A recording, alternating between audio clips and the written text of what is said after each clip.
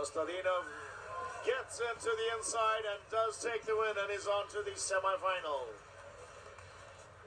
And it is Krasimir Kostadinov who finally forces Gasparini out of the open.